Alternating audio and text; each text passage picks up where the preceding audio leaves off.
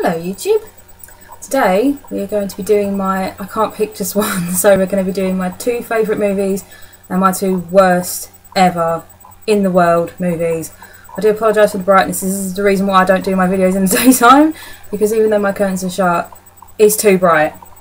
So let's crack on anyway. Right, we're going to start with my favourite movie of all time, number one, Hatchet! I love Hatchet! I love it so much! I love Adam Green, the director and writer and everything else. He's amazing. I love this movie. Um, the main reason why I love this movie is because I think it's a standout movie. I mean, come on, you must have seen this movie by now if you're a horror fan. I mean, it's got Tony Todd, Robert Englund, and Kane Hodder in it. Come on, people! This is a brilliant movie. This came out in 2006, and they did make a sequel, and the sequel sucks really badly. But when I'm not going to go into that today. I mean, I might even make another movie just about the sequel because it's awful. But this one is brilliant. The script is brilliant. The jokes are funny, and the gore and horror is good. And they keep it separate, which is what a lot of films don't do. They kind of make the horror funny, and it's not supposed to be. But they keep the jokes and the horror separate in this, which I like a lot. And um, as you all know, I tend to ramble quite a bit, so I'll try and keep the plot of this pretty simple. But um, basically, the plot of this one is there is a new uh, horror icon named Victor Crowley in the uh, swamps. I'm not quite sure exactly where. I think it's uh, wherever they hold Mardi Gras. New Orleans, that's it, New Orleans. It's Mardi Gras. We've got Joel Moore, Deon Richmond. Funny little group. Um, Mercedes McNab. It's uh, basically about um, a little swamp tour group and consisting of um, you know two girls that want to be in porn films the sleazy director you've got the two tourists you know the kind of hick tourists you've got the mysterious hick girl and then you've got Joel Moore Deon Richmond who just crack me up every time I see this movie they're just so funny. And they're kind of like the comic relief slash um, heroes of the movie. And basically they go on this illegal swamp tour and um, enter into the uh, famous Victor Crowley swamps. And it's illegal to go there, you're not supposed to go there, but they go there one night on this tour and surprise, surprise, Victor Crowley actually exists and he picks them off one by one. And I love this movie. it's so good. Honestly, seriously, look, look, go buy this movie. It's amazing. And it really is. It's not a remake, it's not a sequel, and it's not based on the Japanese one perfect. Adam Green, this was his first major movie, and um, it almost didn't get made. And I'm so glad that it did. And he went on to direct and write Frozen as well with uh, Kevin Zegers. That's an amazing movie. In fact, I don't think I can ever watch that again because it was so emotionally powerful and it really disturbed me in a in a good way. But um, oh man, yeah, go check that one out as well. Frozen, that's brilliant. Right, that's my number one. my number one worst movie of all time has got to be The Possessed. Just don't buy this. Just don't even. You know what? I don't know why I should. Don't even look at it. It's awful. This is actually, funny enough, this is actually really hard to find out about, like information wise. I mean, don't get me wrong, I have actually watched it since I bought it a couple of years ago, but I thought I'd do a little bit of research so I know what I'm talking about just a bit more from just what I remember from this because it's not very memorable. And the bits I remember, I wish I didn't. But the only thing I could really find out about it online would be the year that it was made and stuff like that, and just a couple of people who were in it. It was made in 2007. And this shouldn't happen to a movie that was only made in 2007. It shouldn't be this bad. I mean, I went to college and I did film in college this looks like a film I could have made. I'm no filmmaker and I could have made a better film than this. And that's saying something. That's quite a hard thing to say about yourself. But yeah, it actually looks like it was filmed on a college, like just a handheld camera. Now, I'm not talking Blair Witch style I'm talking we don't have enough money for a proper camera style It's ridiculous how bad this film is. And it's not really got a plot. I mean, the plot is questionable. The plot is um, it centres around this band. There's four or five members in the band, and the lead singer is a depressed girl. And in the first sort of ten minutes, she kills herself.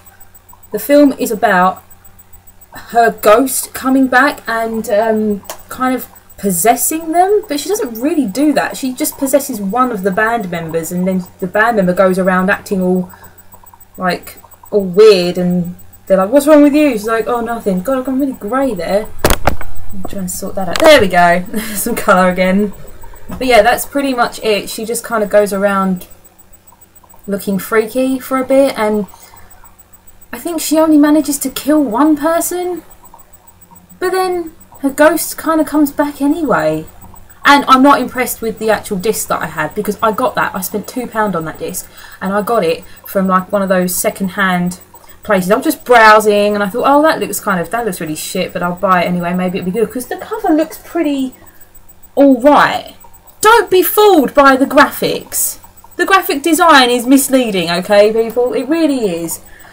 And I thought, okay, and because it was used, who the hell resells stuff that doesn't even work? This movie skips at a quite a crucial point in the movie. Like, there's a there's an actual there's an actual couple of minutes of action in this movie, like serious action where there may be some ghostly killings, and it skips and it cuts to right after all the action happened, and I was like, sorry, where did that character go? Now there's blood on the. Why is there blood on the ceiling? I can't believe it skipped right there where the only decent looking bit happened. I was not impressed. You know what? Screw that. I'm not talking about it anymore. Right, number two, my second favourite movie of all time. This one actually trumps Hatchet in a way because this is I fell in love with this first. This will always be my favourite movie. But obviously people change their minds, which is why I've got two. You know, it happens. Ginger Snaps. I love Ginger Snaps. I love Katharine Isabelle and Emily Perkins anyway, because Emily Perkins is in my favourite Stephen King movie, as you all know, which is It. So I've loved Emily Perkins forever. But look, I love Ginger Snaps so much. And it's got Chris Lynch in it, who was in My Little Eye, and he was in a few other things as well. He's, I think, mainly sort of Canadian-based independent movies. Think a bunch, they're mainly all in, this is a Canadian movie, they're all in sort of Canadian-based movies. Um, although I did see another Cinderella story with Selena Gomez once. I saw like half that, and th these two are in it as like the ugly stepsisters. I don't know what that was about. Seriously, shame on whoever got them to do that. And slight, even though I love them, slight shame on them for doing it. I don't like it. Anyway, yeah, Ginger Snaps is a. It's mainly a werewolf movie. I'm not too loving of werewolf movies. I prefer vampire movies. I don't really like zombie movies that much either, but I like I don't you know sometimes they're good. But um, I love this movie because it's it's kind of a werewolf movie and kind of a coming of age movie. Ginger, Katharine Isabelle, Ginger gets bitten or kind of scratched by a werewolf, but no one really sort of it's not known that there's a werewolf on the loose. They live in a really sort of small town, American town um, they're two sisters who are so morbid, it's not even funny. They, in fact, have a suicide pact. I think they talk bollocks a lot of it, but you know they're really they're the morbid ones in the town, and people don't like them. They're only like a year apart, um, and you know it sort of starts off with them playing a prank on one of their uh, sort of tormentors, and while they're out in the middle of the night, Ginger gets attacked by an actual werewolf and Bridget, her sister Emily Perkins, um, sort of saves her, brings her home. Chris Lynch is the local drug dealer. He's like the local druggy kid. He then um, he's driving through the night and he hits the werewolf and kills it. Sees the girls running away, and that's kind of how they end up getting connected during the rest of the film. Um, but yeah, the, the film is basically about how Ginger, uh, they're both growing up, they're like 15, 16, and they're both kind of going through puberty. Obviously, getting the periods and things like that. So, um, yeah, it's basically she's becoming a werewolf, but is she really? Because her symptoms are very similar to sort of girls growing up. So you're not you're never really sure if it's just kind of her going through something. And Bridget, of course, like that's like her her twin almost. You know, it's her other arm. It's they're so close. So when Ginger goes through this transformation and this sort of horrible time, she doesn't know what to do, and the, and she has to break out of this little twosome and and involve someone else to try and solve the problem. And she kind of becomes more independent and really strong. And one of my favourite quotes of all time is from the sequel. There are three of these movies. It's a trilogy. The third one was awful. I don't know why they made that, but I still love all of it. The second one's okay, and my favourite quote of all time from any movie comes from the second one, and that's from um, Bridget. Uh, she starts seeing Ginger again, and Ginger says something like, um, in fact, actually, I'm not going to tell you because then it kind of gives away the ending of the first one. Maybe I'll do like a Ginger Snaps review and then like, um, yeah, I don't know. I don't really want to say, but I kind of do because it's such a great quote. Uh, maybe I'll just write it down and then you can read. I don't know. Uh, yeah. Anyway, so that's pretty much that's Ginger Snaps, and uh, it's it's a really really good film. It's it's got a lot of um, basic gore. You know, there's nothing spectacular. There's no like real massive kill scenes or anything. It's just kind of you know. But the transformation, her transforming is brilliant because it's in stages. You know, like she starts getting a little bit of a tail, and then her teeth start growing, and her hair starts going grey in places, and it gets more and more and more. And Bridget doesn't know what to do about it, and she tries to find a cure. Um, it's a really good film. You should check it out, and the ending is amazing because it just oh, it really gets you. If you you know if you're really into that kind of stuff, it'll get you. Um, yeah, so that's favourite movie number two, and last but not least, awful, awful, awful movie. This is actually, and I can, you know what? This ain't even me saying this. This is the movie saying this. Worst movie of all time, number two. Demon Cop. Now, you're looking at me going, what the hell is Demon Cop? Good for you. You shouldn't know what this movie is. No one should know what this movie is. I didn't know what this movie was until I think it was last year. I bought this at Christmas last year. I went to the Rochester Film uh, Christmas Festival and uh, they had and the first thing I did when I found out I was going was I went online and looked up where they sell DVDs because I wanted to know if they had a DVD store there. They don't, but they do have a, a very small shop called Stars, and they they sell DVDs in there, but I think they're second hand. I think everything in there is second hand except for like the artwork they sell. So it's like people have gone in there and gone, here's a DVD, have it, and they've just put it up in their window. I got this for three pound. I love buying crappy movies though. I do love them. Because the way I see it is, even though it's a crap film, someone took the time to make that. So I think I should watch it. I think someone should see them, even though they're shit. But this isn't even me. Can you see this? Probably the worst film you'll ever see. It says it right there, and the whole, like, all of this is taking the piss out of how bad the film is. It basically even says right here in this one sentence, it says probably the first film you'll ever see, and it looks like it was put together in a potting shed.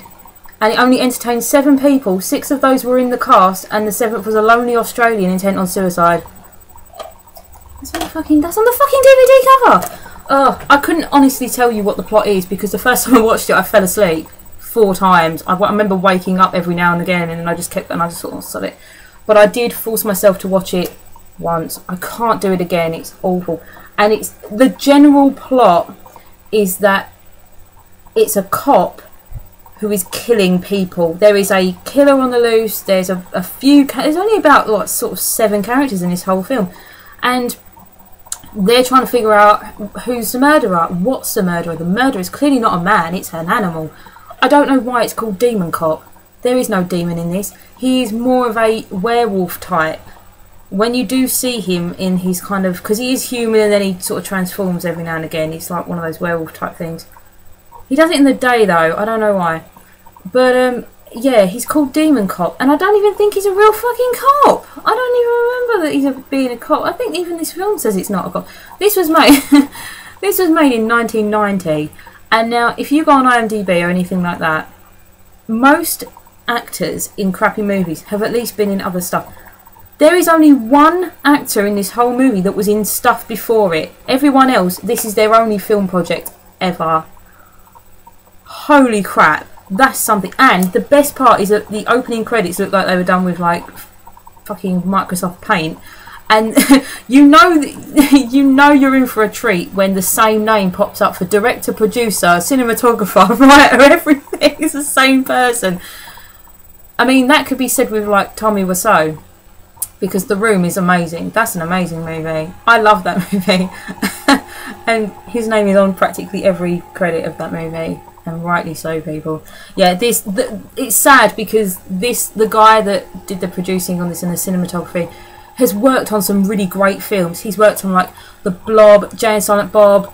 Um, I think he worked on one of the Alien movies. Oh, what else? He worked on That Darn Cat from Dusk Till Dawn. He done like he's done like hundreds of projects. Oh, he did also work on Leprechaun Four.